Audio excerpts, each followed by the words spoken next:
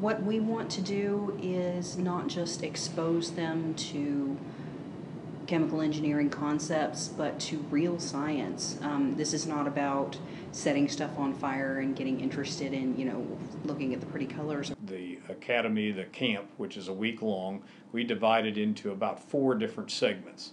And so we're doing an experiment early on where we're extracting the sugars out of a biomass material like either switchgrass or algae.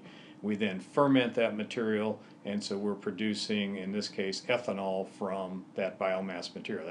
Our focus is to expose them to a really wide range of disciplines because chemical engineering is not just um, working in industry and producing chemicals. Like I said, it's also about um, production of biofuels, it's about pharmaceuticals, it's about um, biomedicine.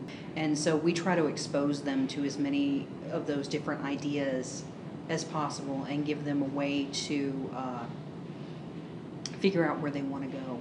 We have another one where we had the students create their own new flavor of yogurt.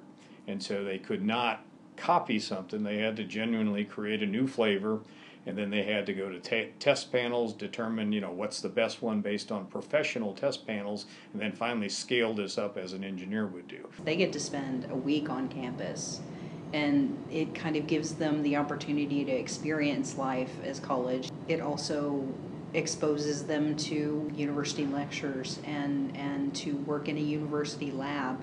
It's very exciting to know that these are kids who are potentially, you know, the next generation of scientists who are feeling that spark of discovery.